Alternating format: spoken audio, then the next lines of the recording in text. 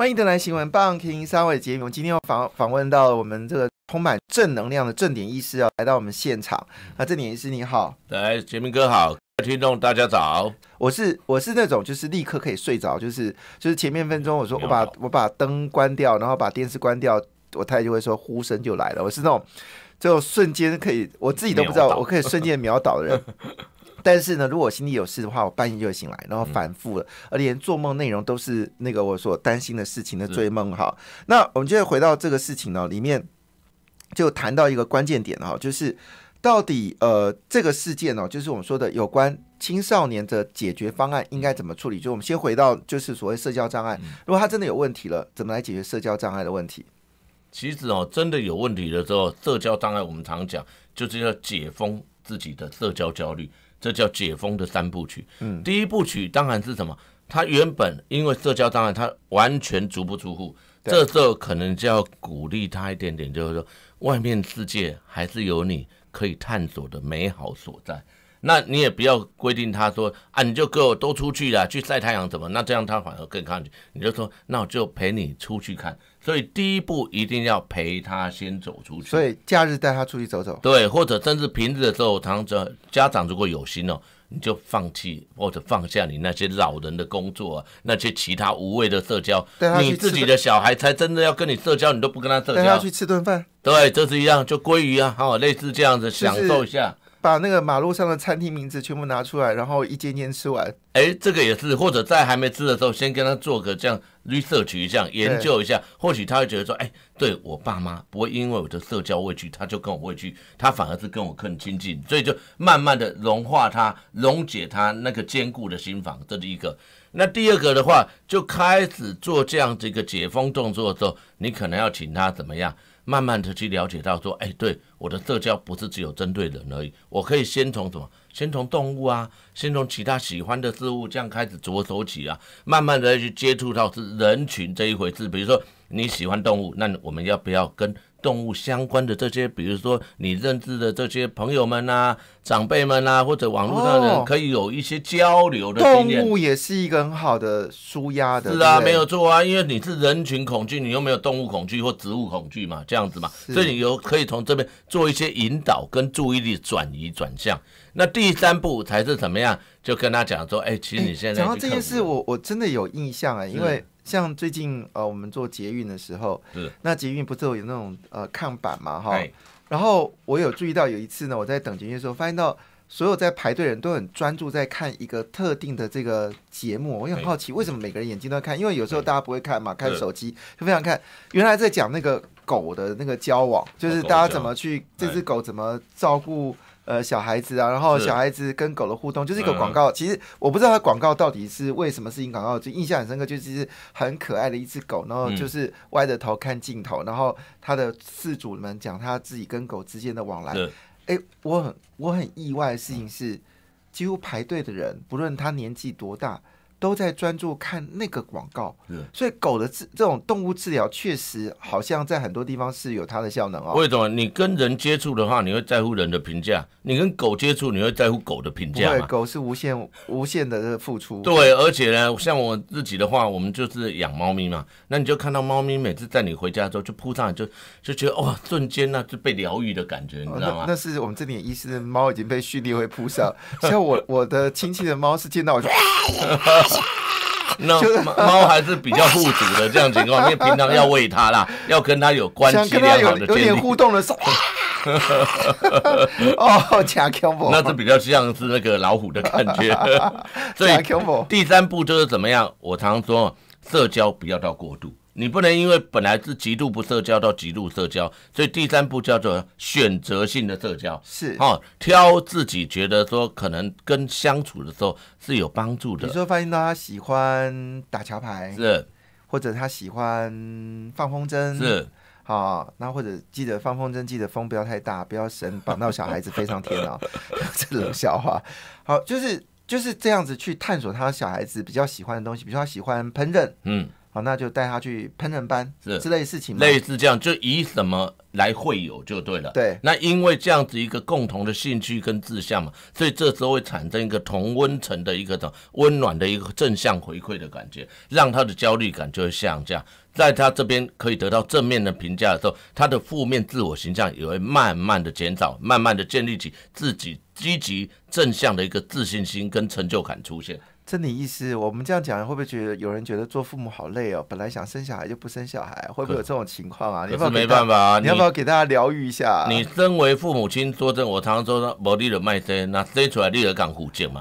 那一样道理，我们社交焦虑，我们提醒他说，你要对自己的所作所为也要自我负责嘛，不是自我谴责嘛，是在这边用意。好，这点意思鼓励是大家还是赶快做父父父母亲啦，再不生台湾就没有小孩了，亡国灭种就惨了。对对对对，好，那所以我们的解开之道大概就这些动作，是解封。那问题来了，小朋友直接就是睡眠上面就有问题。那我们今天谈这个睡眠的保健之道，呃，据了解，这里也是你们这次做了一个研究报告，是。没错，因为其实武汉肺炎这一年，在去年呢，有相信对大家不仅造成生理影响，还造成很多心理面困扰。尤其我们在看去年健保资料库统计，哎，其他科包括小儿科、耳鼻喉科业绩都下降。对啊，结果只有什么？只有身心科跟所谓的这些慢性科别，它是上升的。为什么？就可以提提醒大家，或者告诉大家说说，在这一段期间，其压力越大，你的睡眠困扰可能就是越多。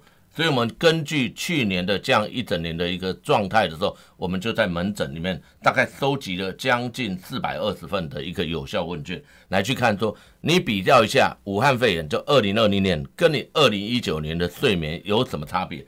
发现，哎，国外的比例，因为国外疫情比较严重，对，是高达四成五到五成。哇，台湾，哎，还不错，是怎么样？只我统计大概就是两成到两成五之间，好，所以有影响，但是影响是国外的一半，可见防疫成功还是可以让我们安心入眠，因为睡觉就是需要安心，要安脑。我常说。大脑要放空，身体要放松。可是我们从这份问卷四百多份问卷也可以看得出，仍然有两成但两成五的人因为肺炎、因为疫情这个关系，他仍然受到心理的困扰，仍然受到困眠困扰。其中比较大的一个原因是在于怎么样？他觉得他没有办法，就像杰明哥讲的，可以睡没有错。但是睡不成呐，对哦，睡到一半就会醒来，这个大概占了四成左右。而且他他会不断的纠结，就同样的事情，他会不断纠结在你脑袋当中。有，那你明明就是说我要睡觉了，可是他就不断的纠结。这个其实是这样的，在国外这个我们叫 COVID dream，叫做新冠梦夜，或者叫新冠噩梦。是。那台湾的话，我姑且把它认为是新冠压力哦。这个梦境呈现或新冠压力梦这个情况，因为他做的不会梦到说是隔离呀，或者被得病了啊，或者再度复发。台湾做的梦比较就是说我担心会不会有周遭人得到，或者是说我会被如果没戴口罩的话自己会得到。他会想到这个，那想到这个情况，就像杰明哥刚才呈现的，你睡是可以睡，但是你睡不成，所以你可能睡到一半就会醒来，醒来之后你会发现说哇，世界怎么清楚，完了。再也睡不下去，真的，哎，很多都是因为这样来看诊。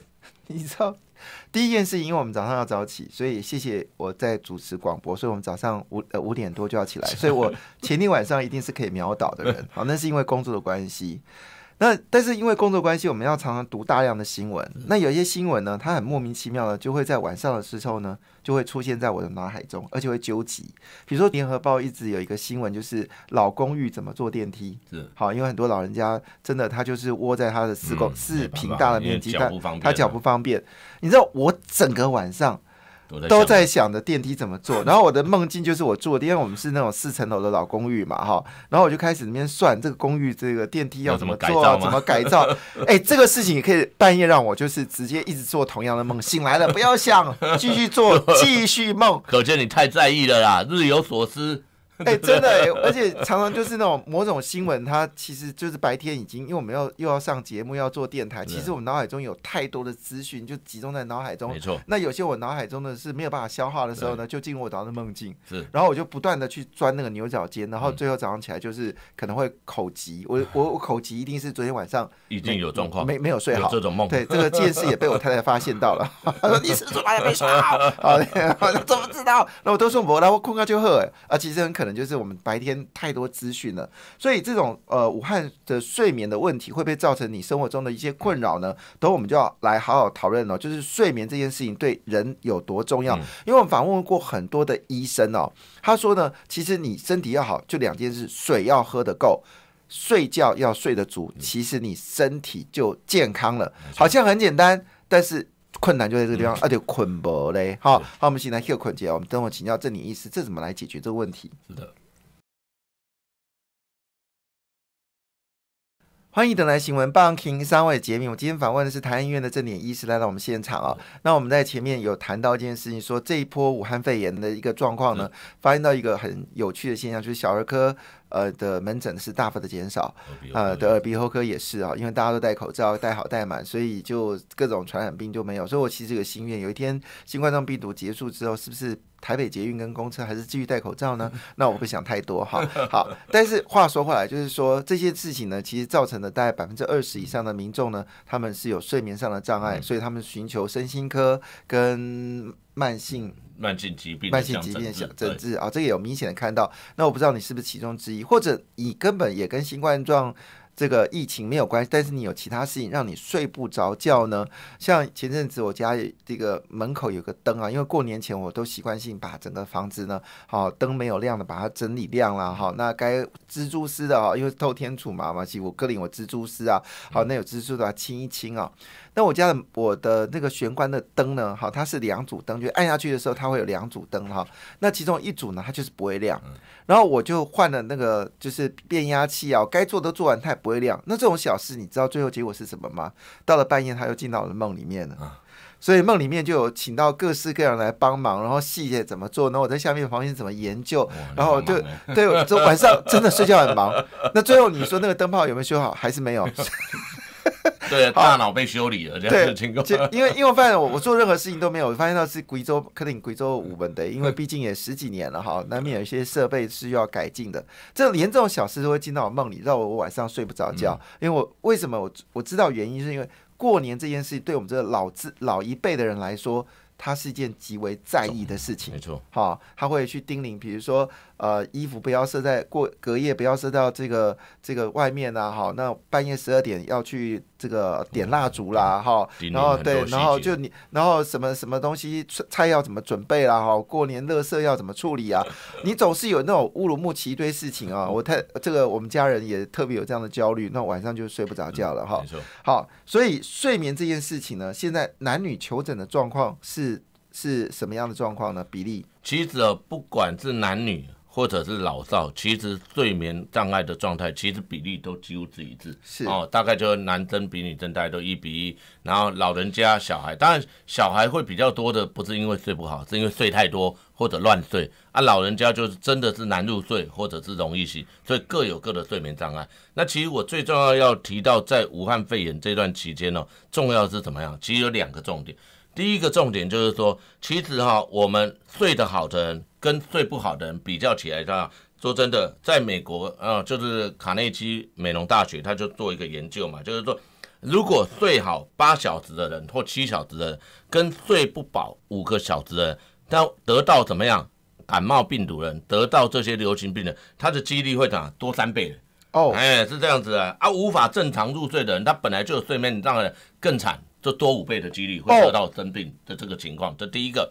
第二个是我们现在不是在疫苗就已经开打了吗？哎，他也有做一个疫苗的研究，就是说在德国了，二零一三年，就是说给这些二十岁的年轻人，哇，看起来很勇，对不对？好，你打疫苗，他给他打的是 A 肝疫苗，然后呢，一半的人哦，就给他晚上正常睡觉哦，就睡好睡满。那另外一半的年轻人就说，呵，你可以哦上网络啊，你去做其他事，你用晚上不要给我睡觉，就惨了。发现那一半晚上不能好好睡觉的，经过一个礼拜之后，发现他们的抗体，哇，同样都打疫苗，那个被剥夺睡眠，他抗体只有正常睡觉睡好睡眠一半而已，到三分之一，所以所以打完疫苗，说真的啦，大家还是要什么好好去睡。觉，你把你的抗体慢慢的给它用好用满，给它弄到正常的浓度，或许也是抵抗武汉肺炎再度起新、再度这样复发的一个最好的一个免疫治疗的一个武器。好，那就问题来了，它就出现两个问题。第一个问题是，那到底睡多久什么样的怎样的睡眠？好像我们的手手表都会告诉我说，你真正足睡，比如说我睡了八个小时，但是他说深眠时间只有一个小时，是。甚至深眠时间就五十九分钟，是。我睡足七八个小时，就跟他跟我说我的深眠时间竟然只有一个小时，啊其他都是浅眠，好，大概有四五个小时到六个小时浅眠，到中间醒来几次，嗯，这是我的这个。呃，手表好告诉我的讯息，所以我就第一个问题，到底深眠时间要多久？这个是一个健康的一个状况。第二个问题是，如果睡眠不够，我该怎么办呢？是，其实杰明哥提到第一个问题之后。大家都会有深度睡眠，越越越睡越多这样的一个迷思，事实上不然。好，深度睡眠我常常比喻成就就就是一个你这样一个大脑或者一个房子的一个结构，钢筋水泥来讲，深度睡眠就是只是那钢筋就把它固定住，但钢筋绝对不是整个都是钢骨建筑，你外面还是要这些水泥啊、吸力控啊、砖块这些辅助。对，这就是所谓的浅眠。所以真深度睡眠占整个睡眠比例大概呢？统计来讲，就是大概两成到两成五。哦，那我这样就对了。哎，也就五分之一到四分之一，这个是一个最理想状态。但是不要低于百分之十五，也就是说不要低于大概七分之一。那高呢？高过三分之一，我跟你讲，你只是越睡越累而已。哦。因为你起来没有办法叫做 refresh，因为睡得太沉了，睡到没力了，睡到瘫痪了这个情况。哦，所以一般就控制在大概这。就是两层到两层五，五分之一到四分之一，这个是最理想的一个睡眠分布状态。其实浅眠也有睡哦，为什么浅眠有睡？至少它都有在修复，只是在深度睡眠的时候，可能那些记忆是为了要重组。所以为什么人家说你深度睡眠不够，你隔天起来这种好像注意力不集中、精神涣散、哦记忆力不好，就在这边。深度睡眠最主要为了要重组你的记忆，或者强化你白天的记忆，所以。杰明哥有时候会怎么样？你看，你会有那些类似的梦境，就是在深度睡眠之后，到了一个动眼期，才会出现那些梦境的反应。哦，因为深度睡眠再把今天所有讯息对，你把记得太牢了啦。然后他已经该要放开，却不放开，然后在浅眠的时候动眼期全部都放开了。所以怪不得是三四点以后就开始，因为真的很精准。我一看手表，大概就三点多。我知道心里有事，就是心不是心里有事，就是说如果白天读的资讯造成晚上要做梦。然后我醒来，因为这梦醒来，反复醒来之后，一看时间大概就三点多。是啊，所以我经历过了十二点一到一点的深度睡眠。对，是这样子。哦，原来是个结果。可是我觉得这点意思，因为我们时间关系，我真的很好奇，深度睡眠可以训练吗？因为我不能去控制我的深度睡眠啊。这个很难，为什么？因为深度睡眠是从我们的叫自律神经自己运作结果，跟下肢丘的睡眠中枢来取得一个对你一个睡眠最有好的修复的一个方式。要训练方式，说真的，我常常就提醒，就是白天过得好，晚上就睡得好。白天过得，哎，白天过得好要怎么样？就是我常常讲，叫运动、活动、劳动、互动，就好好的动，晚上就不会乱动跟躁动，就让你大脑真的能够放空，身体真的能够放松，就会进入到深度睡眠。嗯，我最近把我的手表的那个步数从八千步一天调到一万步，就是希望自己有更多的走路，当然是希望每天都有达到了，但目前为止大家都还可以达到。所以你意思说，其实白天你有充分的运动，可是上班族会说句话，我每天都上班忙的要死，我怎么可能会有运动呢？那怎么办？这就是变成恶性循环。我白天都是上班有压力，没有运动，然后吃完饭我就睡觉了，所以晚上就睡不好。第二天呢，那就更累了，更累要变恶性循环。对。那这样子，所以其实你是鼓励，呃，在上班的中间时间或者下班时间去健身房吗？是，一定要，不管是进健身房这种比较重力的训练，或者是去走动，或者有一点类似小跑，像我自己的话，就会去游泳，哦，类似做这些无有氧的这样运动的时候，这时候都会让你怎么？在运动的过程当中，去提高自己的肌耐力。因为说真的，睡觉也是要好好睡，你要有力气睡啊。很多人觉得说啊，我睡觉是弄到瘫痪就睡，好没有啦。所以要自己安排时间运动，这也很重要。好，我们 新 h 困姐今天非常谢谢正点医师来到我们现场谈你有没有睡眠障碍呢？好，我们新 h 困姐。